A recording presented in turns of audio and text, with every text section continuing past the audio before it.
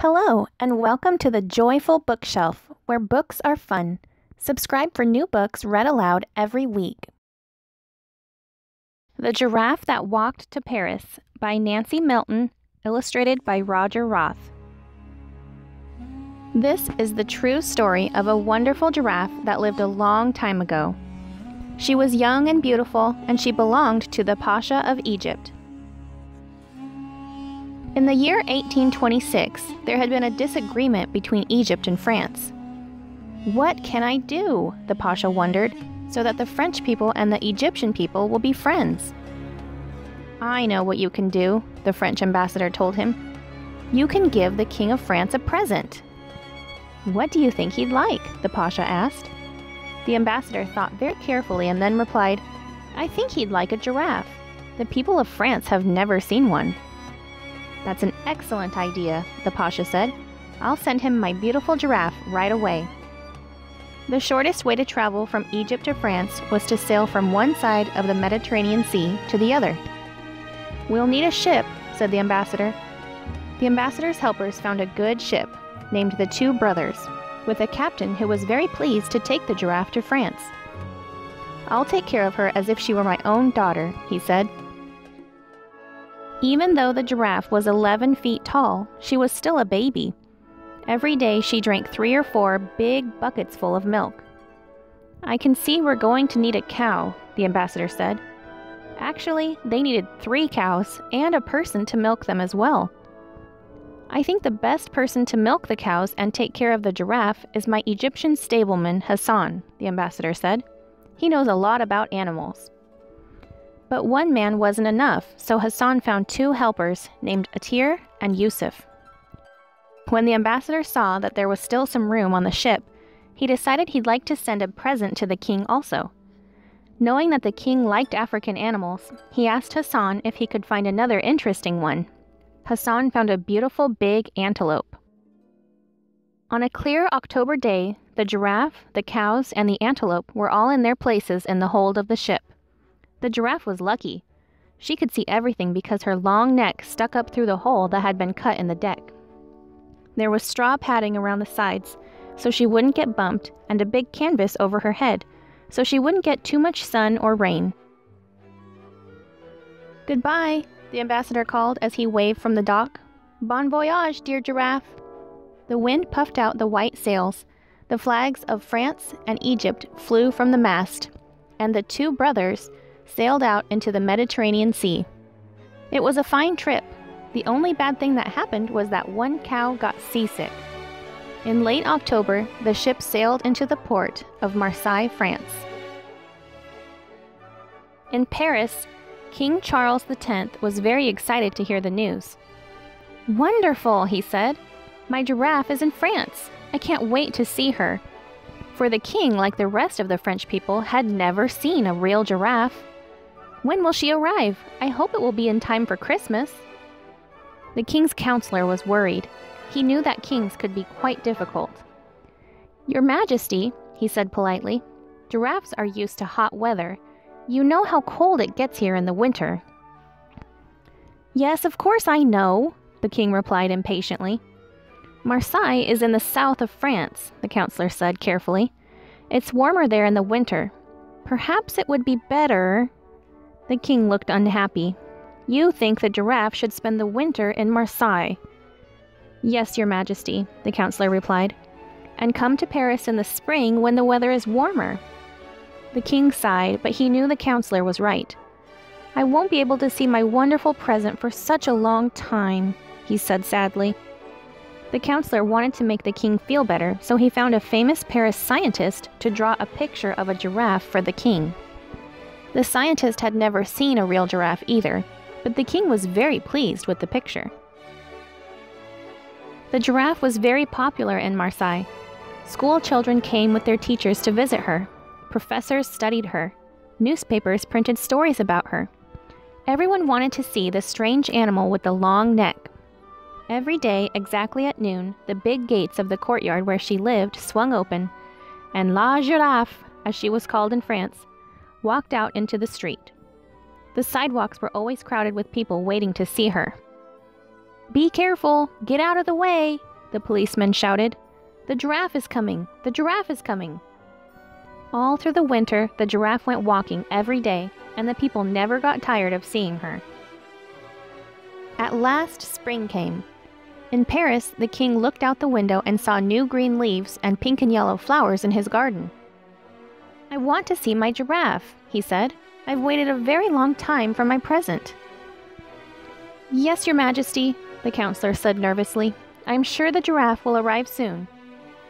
But the counselor was worried, for he had received letters from Marseille, and he knew it wouldn't be easy to get the giraffe to Paris. The men in Marseille couldn't decide what to do. La Giraffe was much too tall to be put in a wagon or a carriage. She had already taken a long boat trip and might not enjoy another one. Finally, Hassan had an idea. She's a very good walker, he said. She's had lots of exercise every day.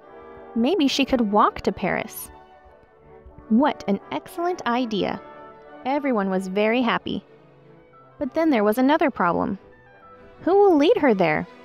After all, she's going to Paris to meet the King of France. She must be led by a Frenchman, and it must be one who knows something about giraffes. Everyone was silent. There weren't many Frenchmen who knew anything about giraffes. But in Paris there was one, a professor who had been to Egypt. Professor St. Hilaire was old and his health wasn't very good, but when he heard that someone was needed to lead the giraffe to Paris, he was very excited. He jumped up and said, Yes, yes, I'll go to Marseille and bring La Giraffe back here to the king. He packed a bag, hopped into a stagecoach, and in six and a half days he met the giraffe. Professor St. Hilaire had a big job getting everything ready for his journey to Paris. The cows could walk with the giraffe, but the antelope was very big and very dangerous. It wouldn't walk quietly along the road like the giraffe and the cows. We'll need a strong cage for that antelope, the professor said. We'll need a coach to carry the cage and a man to drive the coach. And then he said, The giraffe needs a raincoat. She's used to the hot sun, but she isn't used to wind and rain, and it rains a lot in France in the spring. It isn't easy to make a raincoat for a giraffe, but Professor St. Hilaire designed a good one that covered her whole body and buttoned down the front. It even had a hood to keep her head and long neck dry. Finally, on a rainy morning in May, the big procession left Marseille. High above everyone else, there was La Giraffe, looking very handsome in her new raincoat. Then, there were the cows, the professor in his carriage, Hassan, Atir, Yusuf, and a translator to help the men understand each other's languages. There were soldiers who rode ahead to tell everyone they were coming. And last of all, there was the coach, pulled by a horse and loaded with bags and sacks and the dangerous antelope in its strong cage. In Paris, the king was pacing up and down the long halls of his castle. It's almost the beginning of summer, he said to his counselor. Where is my giraffe? Your giraffe is walking to Paris, Your Majesty. I'm sure she's walking as fast as she can. But the counselor was still worried, for truthfully, he had no idea how fast a giraffe could walk. The procession to Paris was a great success. Everywhere people were waiting to welcome the giraffe. They talked about her and wrote letters to their aunts and uncles and grandmothers and grandfathers. They said, We saw La Giraffe. She's as tall as a house. She has the longest neck you've ever seen. You must see her too. So, as La Giraffe and her procession got closer to Paris, more and more people crowded the roads and the towns. They named streets after her. They put pictures of her on the signboards of bakeries and restaurants, hotels, and grocery stores. Soon, there were giraffe pictures in every town she had walked through. Professor St. Hilaire wrote reports and sent them to the king. The counselor read them aloud. His Majesty's giraffe is in excellent health. She has a sweet and gentle nature. The people of France love her. That's all very well, the king said, but when am I going to see her?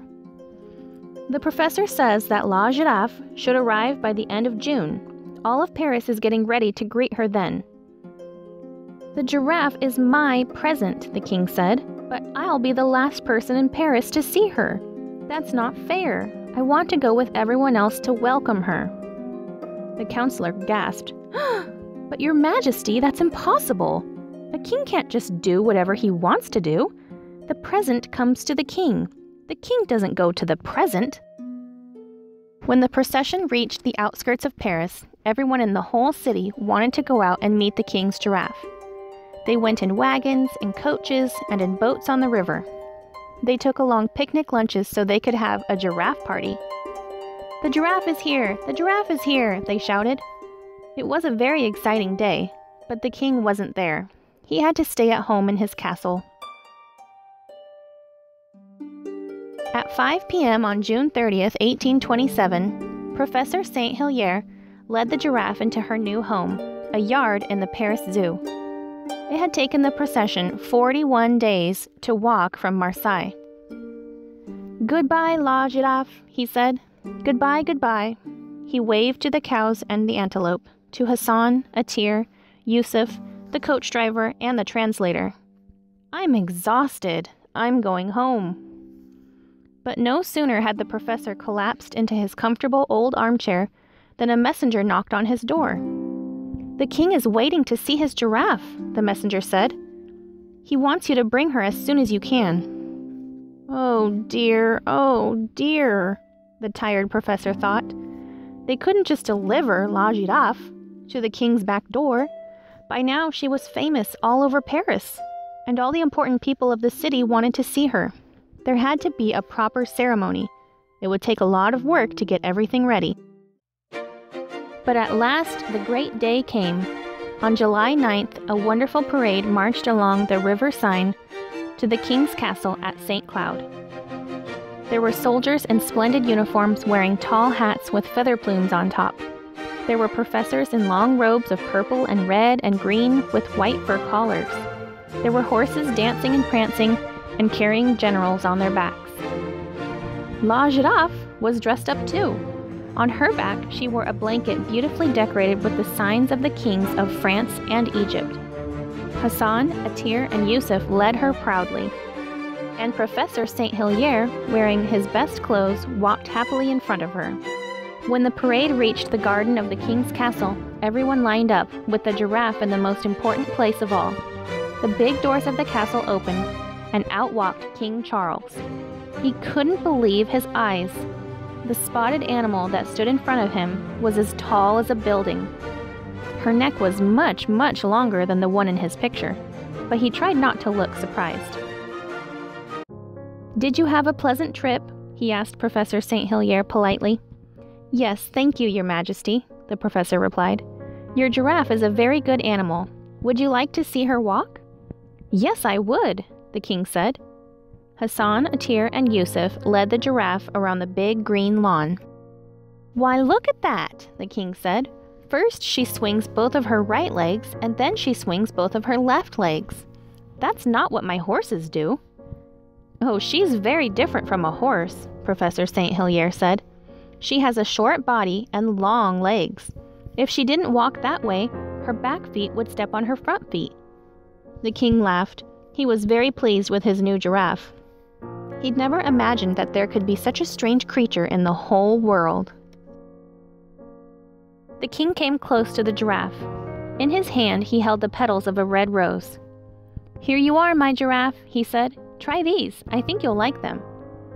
It is difficult for a giraffe to bend down, but La Giraffe could see that the king had something good to eat in his hand, so she spread her front legs wide apart and lowered her neck. She ate the rose petals from the king's own hand.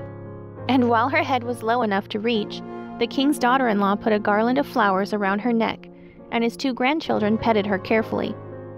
The lion may be the king of the animals, King Charles said happily, but my giraffe is certainly the queen. What a beautiful giraffe! What a wonderful day! When it was over, La Giraffe went back to her new home at the zoo. Hassan and Yusuf returned to Egypt, but Atir stayed to take care of the giraffe. Professor St. Hilaire and his friends had a special room made for them in a big glass building in the middle of the zoo. There was a stove to keep the giraffe warm in cold weather and doors that opened to let her outside when the weather was nice. Every night, Atir climbed two ladders to get to his bed high up near La Giraffe's head. And every day he fed her and brushed her and took her for a walk. The people of Paris loved the giraffe very much. Thousands of them came to visit her. They put her picture on dresses and shirts and purses and on plates and cups and coffee pots. Women wore their hair in a new style, very tall, like a giraffe.